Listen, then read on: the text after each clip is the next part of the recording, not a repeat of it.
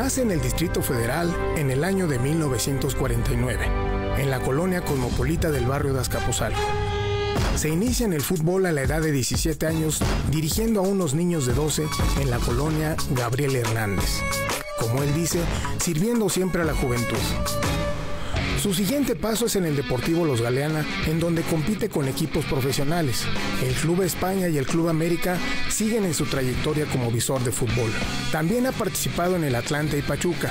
Debuta a casi 40 jugadores profesionales de gran renombre, como Rodón, Peláez, Alan Cruz, Villa, Carlos Hermosillo y desde sus propias palabras, el más grande de todos, Cuauhtémoc Blanco.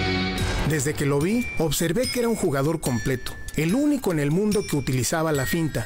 Ya nadie lo hace, dice el Coca sobre el Cuau. Ama el fútbol, a la niñez y a la juventud.